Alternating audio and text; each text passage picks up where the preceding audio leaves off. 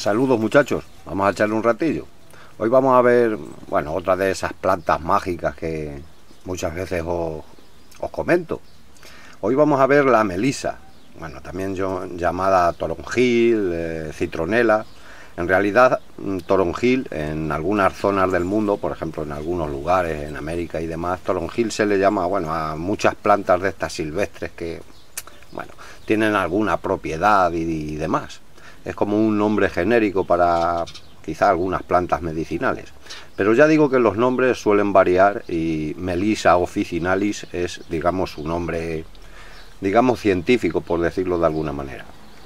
Esta planta, eh, daros cuenta que ha sido utilizada desde la antigüedad e incluso hoy en nuestros días han llegado recetas, por ejemplo, de estas que hacen algunos monjes, monjas y demás, pues hay ciertas recetas que están, digamos, en parte basadas en esta melisa.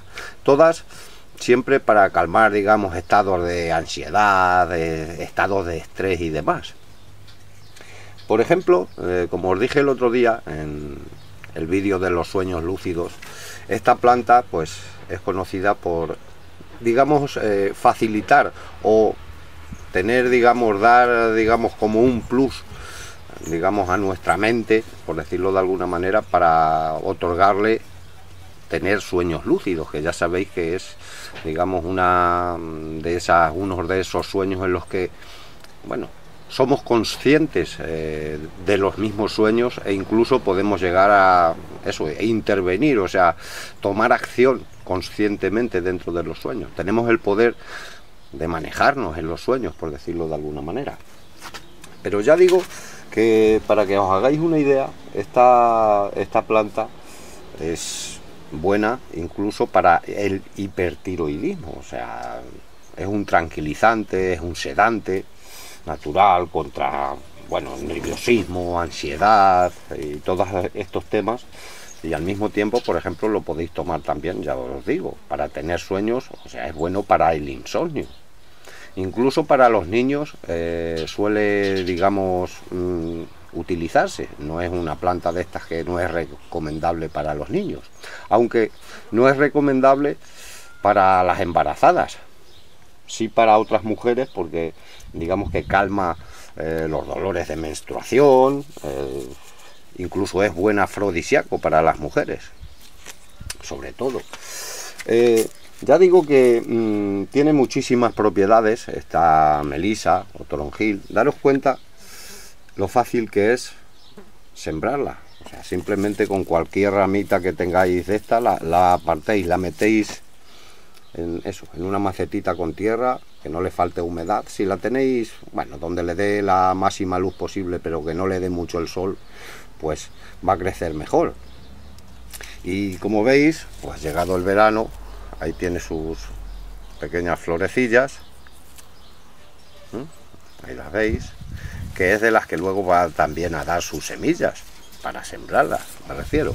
Pero ya digo que simplemente con estos esquerjes, cortando una ramita y mm, metiendo la puntita en la tierra, enterrándola, pues es una de las plantas que mejor eh, agarran los esquejes.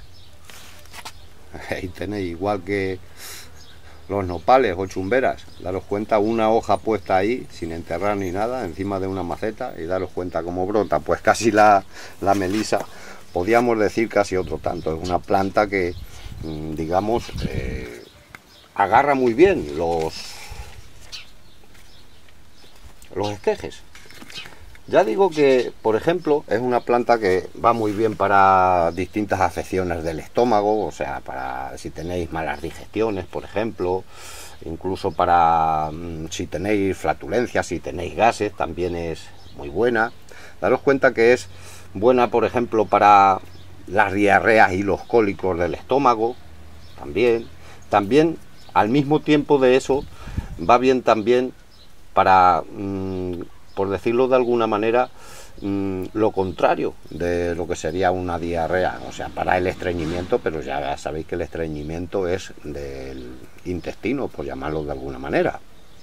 O sea, es una planta, por ejemplo, tiene antioxidantes y flavonoides, o sea, incluso los flavonoides, sabéis que mm, hay muchas investigaciones que señalan que bueno, las plantas con flavonoides al menos son, digamos, buenas en cuanto al tratamiento del cáncer, o sea, no digamos que por tomarnos cuatro infusiones de esta planta, que es, bueno, digamos de la forma que mejor se pueda administrar, se nos va a curar un cáncer, pero sí, por ejemplo, a la hora de prevenir, de tener el cuerpo, digamos, con más activos, eh, para prevenir estas enfermedades y demás.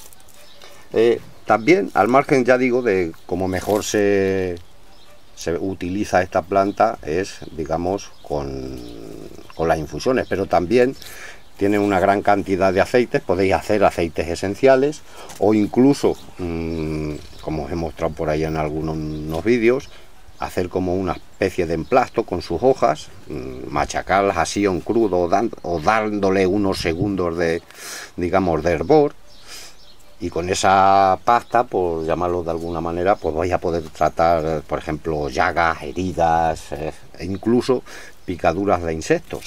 Otra de sus propiedades es que también, digamos que es una planta de las que nos ayuda, digamos, a espantar mosquitos y demás. Al margen, ya digo, de que cualquier picadura, un poquito de hojas de esta planta, pues nos va a ayudar a mejorar esa, esa picadura, por llamarlo de alguna manera.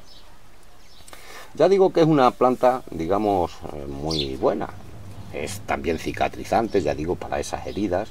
Por ejemplo, daros cuenta que su nombre, digamos, Melisa, digamos que proviene de, digamos, relacionado con, la miel de abeja, las abejas melíferas y demás. O sea, es incluso a la hora de eso, de tratar, sabéis que la miel tiene muchas propiedades, por ejemplo, para curar heridas y, y demás, pues esta planta es comparable, digamos, es comparada con las propiedades que puede tener también la miel a muchos niveles. O sea, es, ya os digo, una planta bastante importante en cuanto a bueno, sus propiedades. Nos puede ayudar en muchísimas afecciones, como estáis viendo. Es fácil de cultivar. Ya sabéis, tierra, como os muestro por ahí en muchos vinos, en muchos vídeos, como digamos hacer, digamos cualquier compost que en realidad mmm, vale para la mayoría de las plantas, sobre todo para las plantas de maceta bueno, pues eso, agua, si le quería echar algo de abono de vez en cuando, pero ya os digo, es una planta que crece estupendísimamente. Aquí tenéis las ramas de esta. ¿Mm? Da un aroma, ahí tenéis al fondo, ahí veis que se heló, eh, este invierno, bueno, no lo protegí muy bien, y se heló y se fue secando poco a poco el limonero, pero ahí, ahí veis como, bueno, va, digamos, empezando a brotar, por decirlo de alguna manera. Y ya digo que aquí tenéis su florecilla, una planta, digamos, perenne, aunque bueno, teniendo plantas en maceta siempre es bueno pues ir haciendo otros esquejes que se vaya renovando, se vayan renovando las plantas, pero ya digo, es una planta perenne. Si vivís en zonas cálidas, incluso ni en el invierno va a perder su, eso, su follaje, por decirlo de alguna manera, la tenéis recobijadita en un bueno, en el invierno en un lugar cálido y donde le dé la luz pues eh, va a seguir digamos sobreviviendo su follaje aunque no sea tanto. Y bueno muchachos pues qué queréis que se os diga aquí vamos viendo cuatro cosillas de estas también ya os digo tiene un aroma así parecido eso al limón eh, podéis incluso usarla para si hacéis por ejemplo dentrífico natural, pasta de dientes natural, por ahí incluso hay uno de los antiguos vídeos donde muestro cómo hacer pasta de dientes natural, pues podéis añadir también esta planta, por decirlo de alguna manera, un poquito de infusión de esta planta, o incluso para hacer enjuagues bucales, esas, digamos, esos enjuagues con esas infusiones, masticar, digamos, incluso eh, unas hojas, también ayuda, por ejemplo, al margen de que nos va a ayudar en eso, es antiviral, antibacteriana y demás, a, a, cuidar nuestra boca, desinfectar nuestra boca, pues también nos va a dar un, digamos, un buen aliento, por llamarlo de alguna manera, si masticamos sus hojas. Y bueno, muchachos, pues, ¿qué queréis que os diga? Aquí, como veis, hemos visto esta melisa, que es una planta, ya digo, sobre todo a la hora de, bueno, conciliar el sueño a la hora de bueno, estar en un estado un poco nervioso y demás, es una planta que funciona a las mil maravillas. Quizás es una de las plantas que mucha gente desconoce y que es muy buena para estos temas. Y bueno, muchachos, yo creo que ya hemos visto, ya digo, la melisa, ya hemos echado un ratillo y lo que suelo decir siempre, pues eso, que somos uno, que soy otro tú.